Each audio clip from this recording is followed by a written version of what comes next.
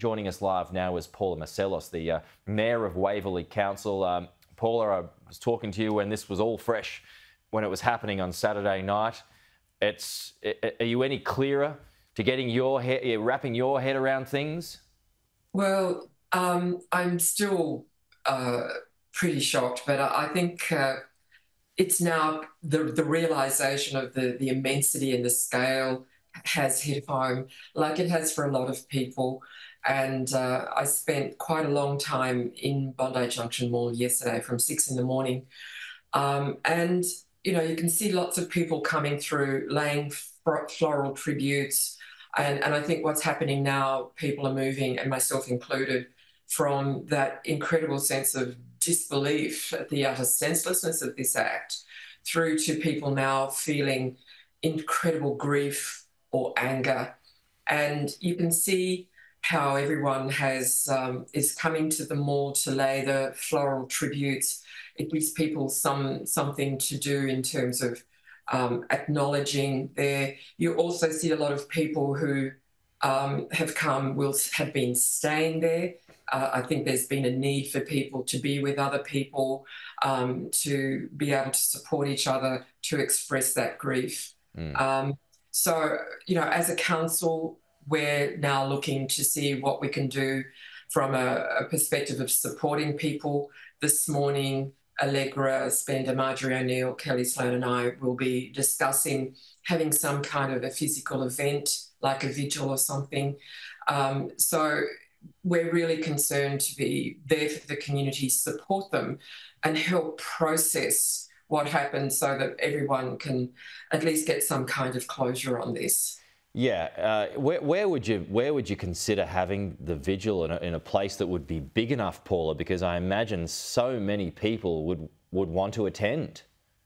Look, this is something that we're discussing this morning, and I think the, the important thing is to for people to stay tuned on Waverley Council social media um, because there's a lot of information there it includes what kind of support services are available.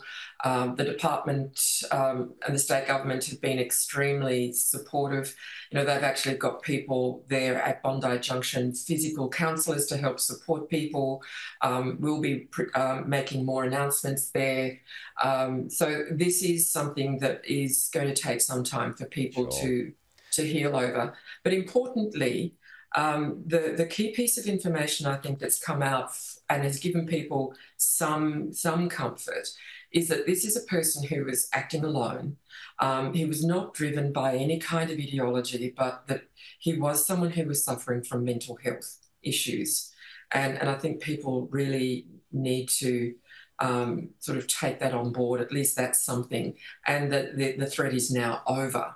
Yeah. And really, it's about how we come together as a community and move on. Yeah. Well, I mean, yeah, and, and you're working on that. That meeting taking place this morning. Okay, we'll, we'll wait to see what emerges from that. Just finally, I mean, as has already been revealed on this program today, the investigation at um, Westfield Bondi has now finished. Uh, custody has now been returned back to Westfield, but um, it's still going to remain closed, though it's got to be cleaned up whether staff are ready to return home, uh, return there, we're not sure. But given it's such an economic engine room of the area, Paula, when do you think it's it's right to open up again? I, look, really, I think that that's Westfield's call, the Scentre Group's call. Um, and we certainly are in communication with them, and we will be supporting them in their decision making as to when they think it's right. They're, they're obviously having as a priority um, making sure that their own people, you know, their own staff uh, have, have had the counselling and support that they need, rightly so.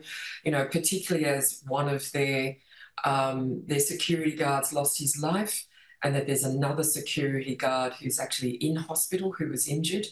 And I think that's going to take some time for um, the Westfield staff to actually process this. So we'll certainly be guided by the Scentre Group because um, you know it's it's like a village in there. It's so large and there are so many businesses. Yeah. But, ben, but Bondi Junction is a, a, retail hub, and so there are lots of other businesses around. So um, I'm sure that there'll be a lot of people um, who will, and a lot of businesses that will also be um, thinking of that, you know, our masts are half, our Yeah. flags sorry, are half mast, and I asked for that to occur yesterday. So there'll be lots of these sorts of symbols of respect um, throughout Bondi Junction. I Yeah, imagine. I remember those those floral tributes when when the Lindt siege happened. They were massive, and uh, I would expect a similar thing happen happen there at Bondi Junction. Paula, really appreciate your time. Yeah, as we take those um, live pictures back again from where that uh, tribute is growing by the minute. Paula, thank you so much for your time.